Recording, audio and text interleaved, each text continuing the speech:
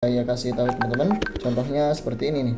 Nah ini ya teman-teman bisa lihat pin pin pin pin ya. Nah teman-teman lihat ya di sini pin pin ini ini adalah Pinterest teman-teman. Nah ini Pinterest ya. Oke Pinterest. Oke makanya kita pakai atau kita buatkan robot auto posting ke Pinterest ya. Karena beliau Bapak Agus Setiawan uh, mengajarkan kita menggunakan Pinterest. Oke untuk cara postingnya teman-teman pertama uh, Bismillahirrahmanirrahim. Assalamualaikum warahmatullahi wabarakatuh. Baik teman-teman di video kali ini saya akan demokan bagaimana caranya kita menjalankan auto upload ke Pinterest ya. Pastikan teman-teman sudah menyiapkan bahan uploadnya yaitu file Excel seperti yang ada di tutorial sebelumnya. Seperti ini ya. Oke kalau ini sudah teman-teman siapkan dan juga satu lagi yaitu brosur berupa gambar ya teman-teman sudah siapkan juga uh, seperti di tutorial sebelumnya seperti ini Oke, ini saya contohkan 5 aja. Sebenarnya teman-teman bisa upload lebih banyak ya. Mau upload 50, upload 100, ya terserah teman-teman ya. Dan teman-teman juga bisa jalan nanti multi profil atau jalan beberapa akun Pinterest sekaligus. Nanti tutorialnya di video tersendiri ya. Oke. Oh ya, buat teman-teman yang belum tahu, jadi ini auto upload uh, untuk ke Pinterest ini tujuannya adalah untuk muncul di halaman satu Google ya. Sebagaimana teman-teman tahu, Bapak Agus Piran Hamas ya yang mengajarkan SEO untuk jualan juga menggunakan uh, media Pinterest ya. Saya kasih tahu teman-teman, contohnya seperti ini nih. Nah ini ya teman-teman bisa lihat pin pin pin pin ya. Nah teman-teman lihat ya di sini pin pin ini ini adalah Pinterest teman-teman. Nah ini Pinterest ya.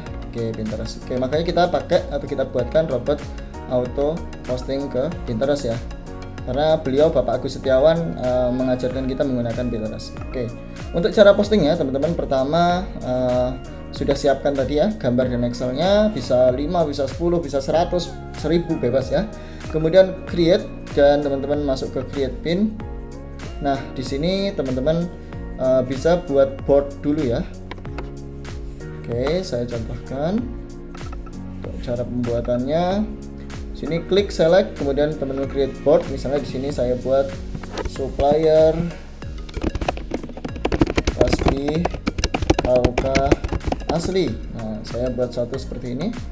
Kalau sudah kita tinggal jalankan aja Pinterestnya.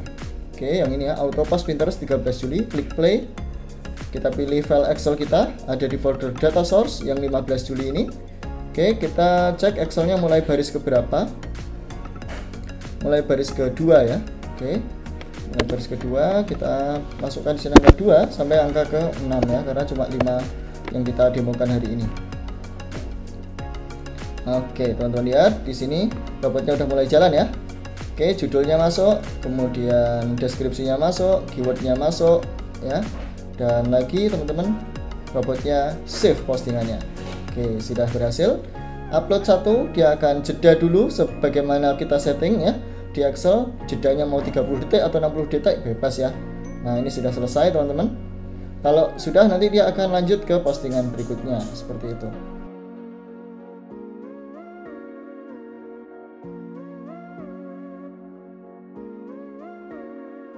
Nah, oke teman-teman lihat di sini sudah selesai ya.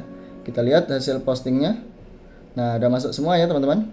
Oke, uh, teman-teman bisa setting bebas ya mau 5 10 100 teman-teman sesuaikan aja dengan konten yang teman-teman siapkan Oke, kalau ada pertanyaan atau teman-teman yang belum ambil robot ini, tertarik untuk ambil robot ini, auto post to Pinterest, teman-teman bisa WA saya di 0812 4940 2559 di sini ya, atau uh, cek di deskripsi video ini.